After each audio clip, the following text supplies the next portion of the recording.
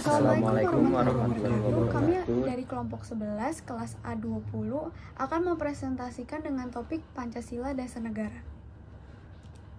Pertama-tama kami akan memperkenalkan diri.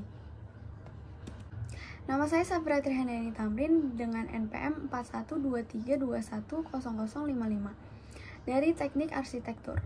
Perkenalkan, nama saya Ahmad Revali Arlian dari Fakultas Teknik Prodi S1 Teknik Mesin dengan NPM 4323210004. Nama saya Muhammad Rizat Galdinur dari Fakultas Teknik Prodi Teknik Mesin dengan NPM 4323210026. Pembahasan pertama yang akan saya jelaskan adalah dasar negara. Apa itu dasar negara?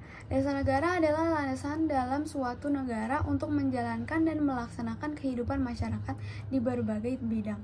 Dasar negara juga bermakna sebagai pedoman dasar dan cita-cita bangsa dalam mengatur kehidupan ketatanegaraan yang mencakup segala kehidupan bermasyarakat. Makna dari Pancasila sebagai dasar negara. Pertama, sebagai dasar dalam menata negara yang merdeka dan berdaulat.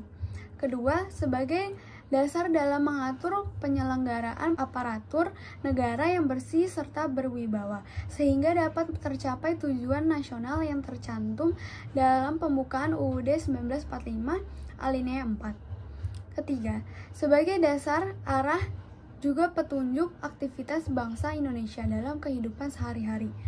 Keempat, sumber dari segala sumber hukum atau tata tertib hukum Indonesia. Selanjutnya, manfaat Pancasila sebagai dasar negara. Pertama, jiwa kepribadian bangsa yang artinya dasar negara merupakan ciri khas bangsa Indonesia dalam sikap maupun tingkah laku, sehingga membedakannya dengan bangsa yang lain. Kedua, dasar kegiatan dalam penyelenggaraan negara. Artinya, para penyelenggaraan negara dalam mewujudkan cita-cita dan tujuan negara harus mewujudkan cita-cita dan tujuan negara berdasarkan nilai-nilai Pancasila.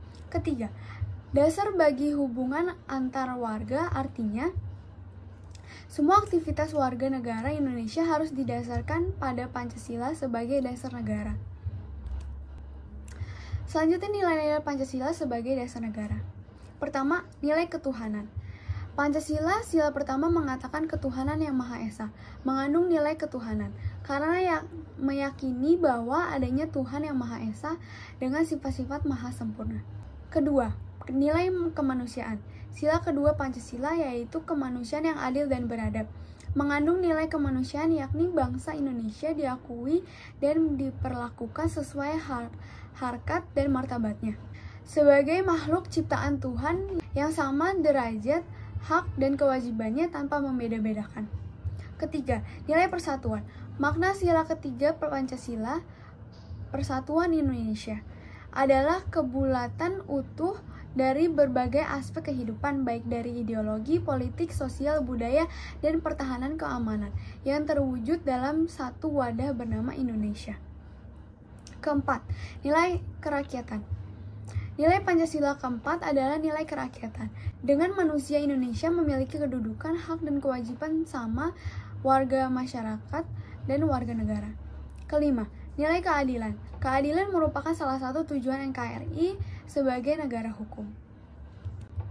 Sebagai dasar negara, Pancasila memiliki kedudukan yang istimewa dalam sistem hukum dan tatanan pemerintahan Indonesia. Pancasila diakui sebagai ideologi negara dan menjadi landasan utama bagi penyusunan konstitusi Indonesia, yaitu Undang-Undang Dasar Negara Republik Indonesia atau UUD NRI 1945. Kesempatan kali ini saya akan menjelaskan materi tentang ideologi.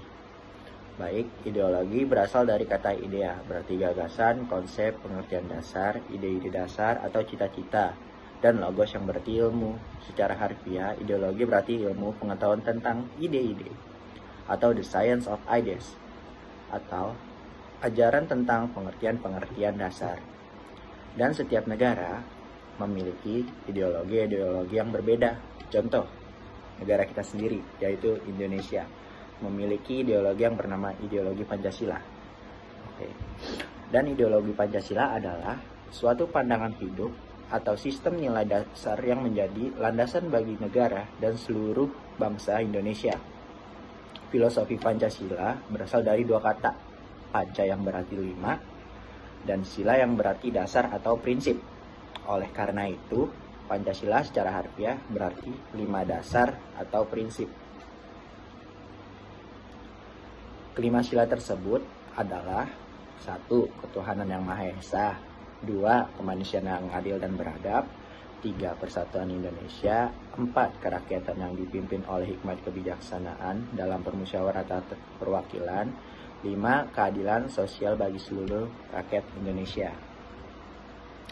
Tujuan ideologi Pancasila adalah satu, mewujudkan keadilan sosial bagi seluruh rakyat Indonesia dan kedua, mempertahankan persatuan dan kesatuan bangsa. Yang ketiga, menghargai dan menghormati keberagaman budaya, agama, dan etnis di Indonesia. Dan keempat, menempatkan kesejahteraan rakyat sebagai prioritas utama. Dan kelima, menjamin kedaulatan bangsa Indonesia dalam segala aspek kehidupan, menghormati harkat dan martabat manusia, serta melindungi hak asasi manusia. Oke, selanjutnya itu makna ideologi Pancasila. Yang pertama itu ketuhanan yang Maha Esa memiliki makna menegakkan kepercayaan kepada Tuhan yang Maha Esa namun mencakup semua agama yang dianut oleh rakyat Indonesia. Dan kedua, kemanusiaan yang adil dan beradab memiliki makna menegaskan pentingnya menghormati martabat dan hak asasi setiap manusia, serta mendorong sikap mentoleransi. Dan ketiga itu persatuan Indonesia memiliki makna menegaskan pentingnya persatuan dan kesatuan Indonesia meskipun terdiri dari keberagaman budaya dan bahasa. Yang keempat itu kerakyatan yang dipimpin oleh hikmat kebijaksanaan dalam permusyawaratan perwakilan memiliki makna menegaskan prinsip demokrasi di mana keputusan penting diambil melalui musyawarah untuk mufakat atau perwakilan.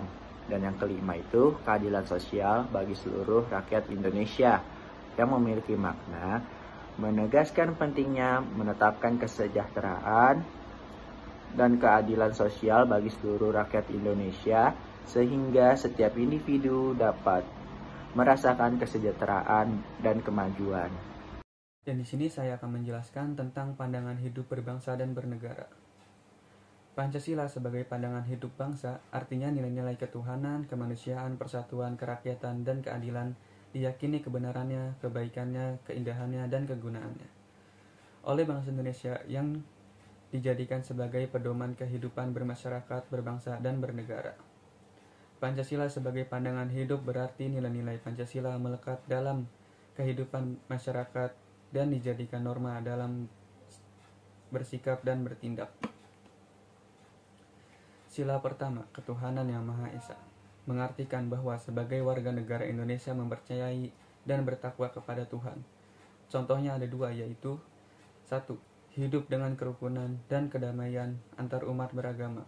Dua, tidak membedakan orang dengan agama yang berbeda dalam sebuah pergaulan. Sila kedua, kemanusiaan yang adil dan beradab, terbagi menjadi lima bagian, yaitu satu, saling mencintai sesama manusia. Dua, mengembangkan sikap tegang rasa. Tiga, tidak semena-mena terhadap orang lain. Empat, menjunjung tinggi nilai-nilai kemanusiaan.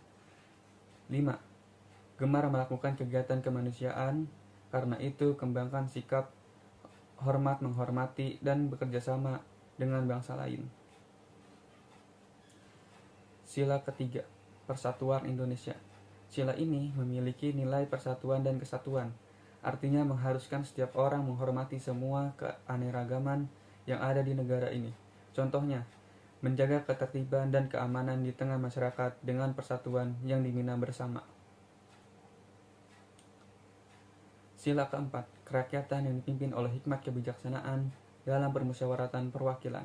Artinya, dari sila ini adalah senantiasa mengutamakan kepentingan rakyat dan semua perilaku bersumber dari nurani yang di, yang menjadikan pokok utama kebenaran dan keadilan. Contohnya, membuat keputusan dengan cara musyawarah untuk mufakat atau keputusan bersama. Sila kelima, keadilan sosial bagi seluruh rakyat Indonesia. Terbagi menjadi lima bagian yaitu satu, Mengembangkan perbuatan luhur yang mencerminkan sikap suasana keku, kekeluargaan dan gotong royong. Dua, Bersikap adil. Tiga, Menjaga keseimbangan antara hak dan kewajiban. 4. Menghormati hak-hak orang lain. 5. Suka memberi pertolongan kepada orang lain.